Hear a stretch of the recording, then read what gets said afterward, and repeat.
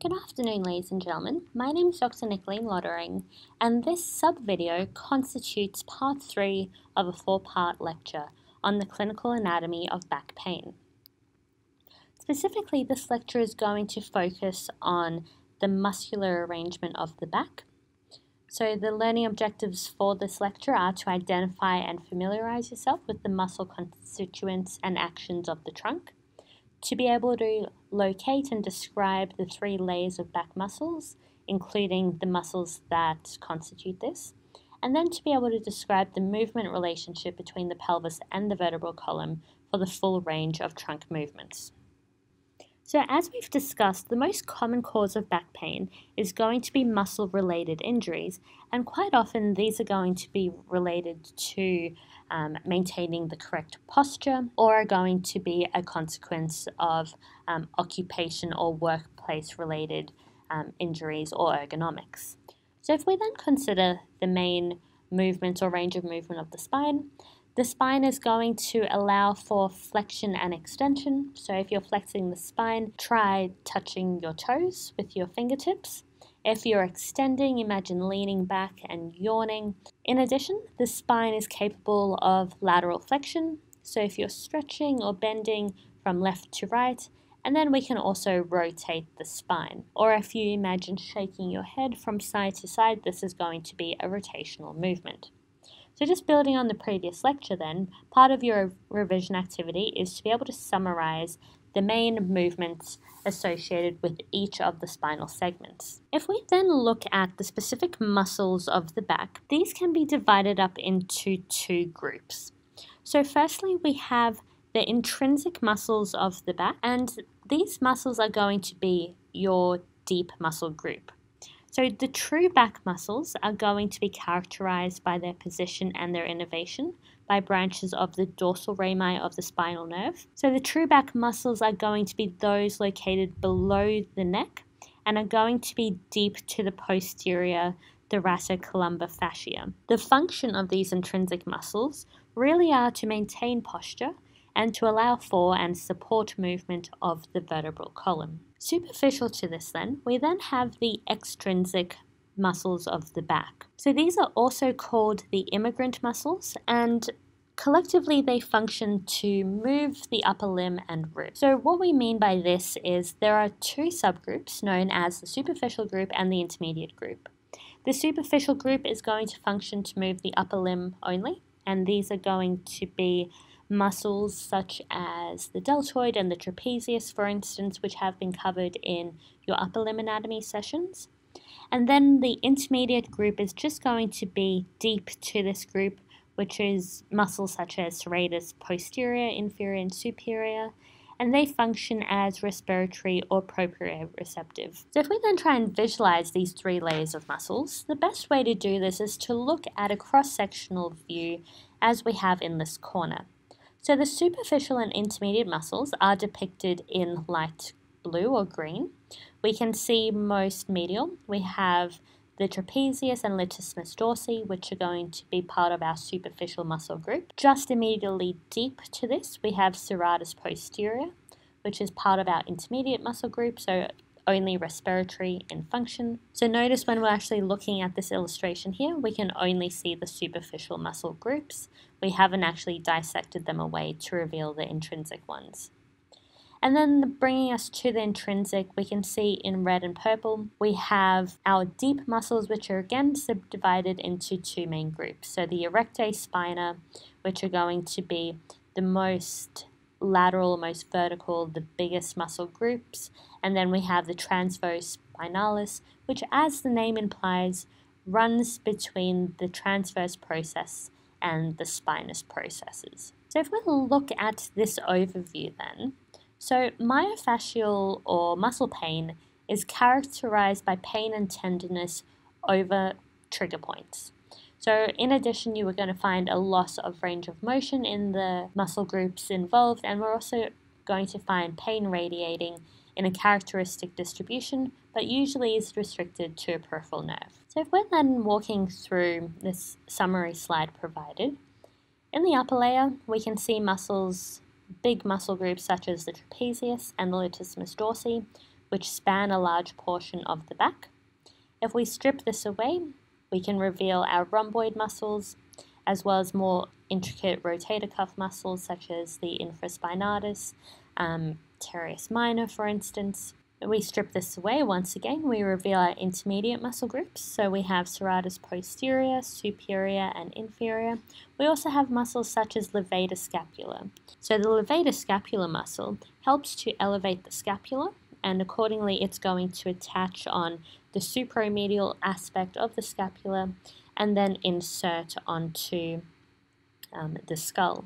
So don't fret, most of this muscle pain can be relieved through massage, for instance, or um, and then if we strip this away, we start to reveal this intrinsic muscle group. So if you look at the erector spinae muscles, these are going to be orientated in a fairly column-like arrangement, and we can see that they are running all the way from the base of the skull and then inserting or anchoring down onto um, the sacrum as well as the ilium bones. And this is really going to help to provide that postural stability.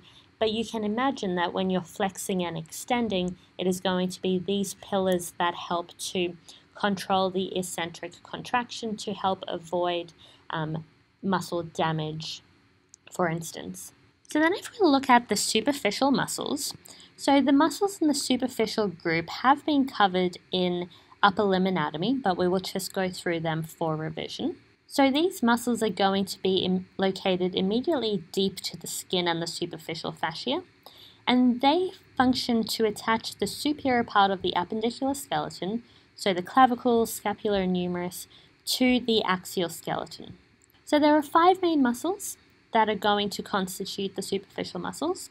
So the first diamond-like structure is going to be the trapezius, we have the latissimus dorsi, which is going to be located inferior to that. We also have the rhomboid minor and major, which will be evident once we strip away the trapezius muscle. And then as we've mentioned before, we have the levator scapula, which is going to course from the scapula, inserting onto that cervical spine.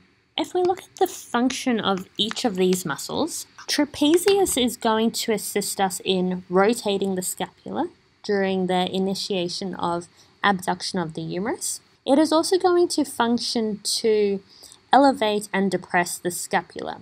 Structures such as levator scapula, as the name implies, will help to elevate the scapula just based on its attachment points, in conjunction with the rhomboid muscles, which are going to adduct, so bring the arm or scapula back in towards the midline of the body, as well as aid in elevation. If we look at latissimus dorsi specifically, it is going to help to extend as well as adduct and medially rotate the humerus.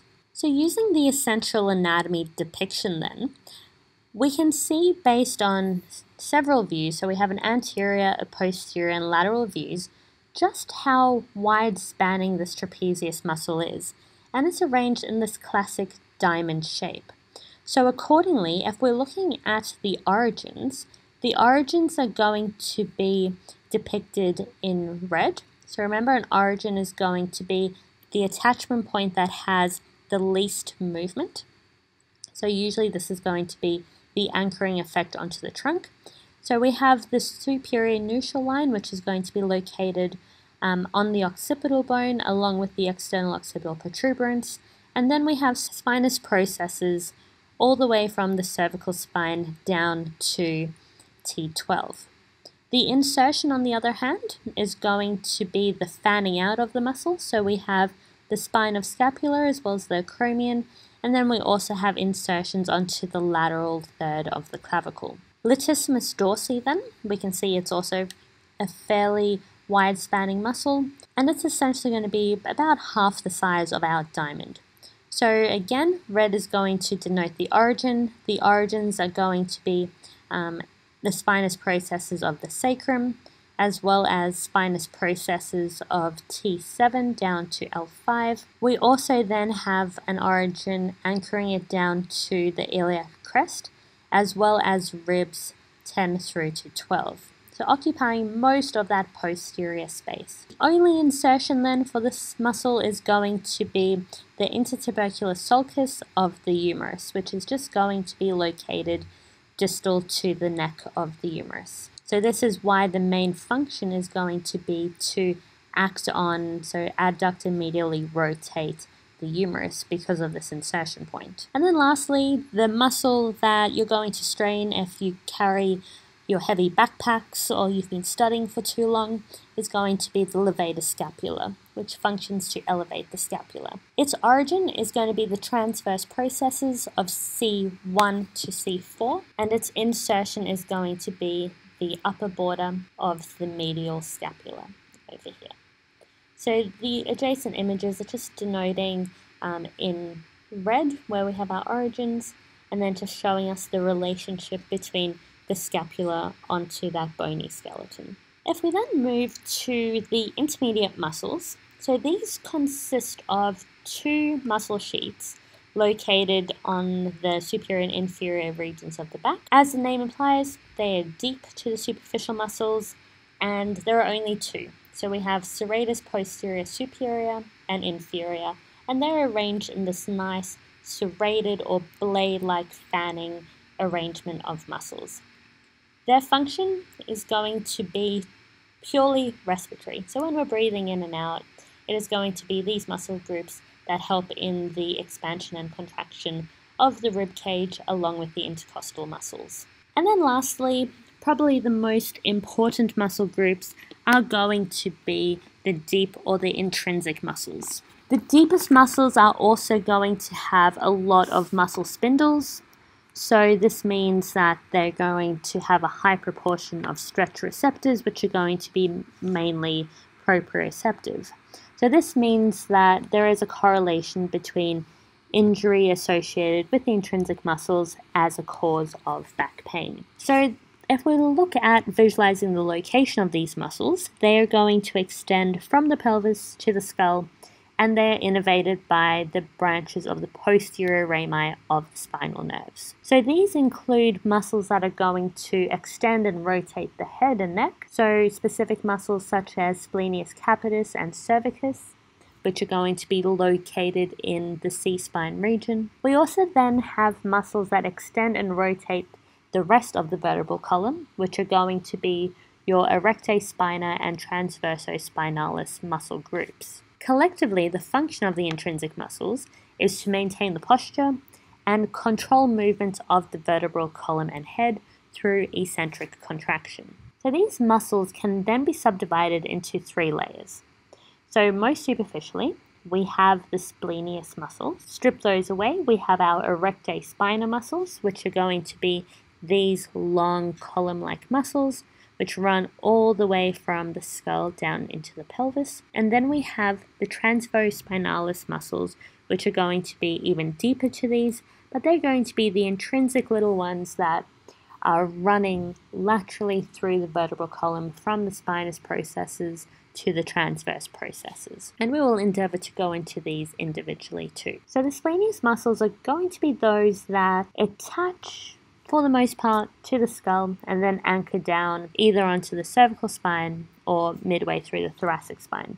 And their collective function is going to be extension of the head and neck. So when you're trying to touch your chest with your chin, this is going to be extension of the head and neck. So if you're stretching your head backwards to look up at the sky or at the stars, this is going to be extension. And then rotation of the head to look towards your left or right when you're crossing the street it is going to be your splenius muscles that are activated. So the origins and insertions are going to help you with locating where these are, and these muscles can either work together or they can work individually. So splenius capitis is going to originate from the ligamentum nuchae and then anchor down onto the spinous processes of C7 to T4. And it's going to insert onto the mastoid process of the skull as well as part of the occipital bone. So this means the head is going to be the point of attachment that moves the most. So when left and right sides work together, they're going to draw the head backward or extend, and then individually they're going to assist with rotating the head from side to side as one shortens and one extends to allow that to happen. Splenius cervicis, on the other hand, is going to be a bit deeper and more inferior. Its origin is going to be spinous processes of T3 to T6, and it's going to insert onto C1 to C3. Again, it's going to function in extending the neck, and it's also going to function to help rotate the head from side to side. So these really do work together. So our intermediate group then is going to be the largest group of intrinsic back, muscles, and these are called the erector spinae muscle group. These consist of nine muscles. You do not need to know the individual origins and insertions of each. It is a good idea to learn how to locate these muscles and to know their functions. So, the erector spinae muscles lie posterolaterally to the vertebral column, and they're going to be covered in the thoracic and lumbar regions by a structure known as the thoracocolumbar fascia, and we also have the superficial muscles. They're going to arise from the sacrum, spinous processes of the lumbar and lower thoracic vertebrae, as well as the iliac crest, as we can see by this fascia over here. So the collective functions then, firstly, are going to be prime extensors of the vertebral column and the head. They are going to help to straighten the back, so when you flex and touch your toes, it is going to be the erector spinae that help to control the body or spine to bring it back up to that neutral position. And it's also going to help to pull the head posteriorly while doing so. And then thirdly, it does have a role, so an eccentric role in helping to slowly lower the vertebral column down into an flexion position when you are reaching for the ground and touching your toes. If we go through some of the examples of the individual muscles, we can see that the muscles most medially and almost running at a 45 degree angle are going to be the spinalis thoracis muscle group of the erector spinae. Immediately lateral to that, we have our longissimus cervicis group in the cervical region longissimus thoracis in the thoracic region. So together this just makes the longissimus muscle group. And then even most lateral to that, we have the iliocostalis muscle, which as the name suggests, runs from the ilium and is going to insert onto the intercostal muscles or onto the rib. So this sort of makes sense if we try and break it down. And then we strip all of that away and we reveal these really nice fine intrinsic muscles which are going to be the transversospinalis muscles which are going to run obliquely upward and medially from the transverse processes to the spinous process. So this fills the groove between these two vertebral projections. These can then be subdivided into three subgroups. So we have the semispinalis, which are going to function to extend and laterally flex the vertebral column. So these are going to be the longest ones located um, obliquely. As soon as we start getting down into our lumbar region, we have the multifidus muscles, which are going to extend laterally, flex and rotate the vertebral column. And then the last one, the tiniest little muscles over here are going to be the rotator muscles, which function to rotate the vertebral column. These work together bilaterally. They're going to have a common function to extend the back. If they're working unilaterally, they're going to rotate the back. And that's all that I have for you in reviewing the muscles of the back.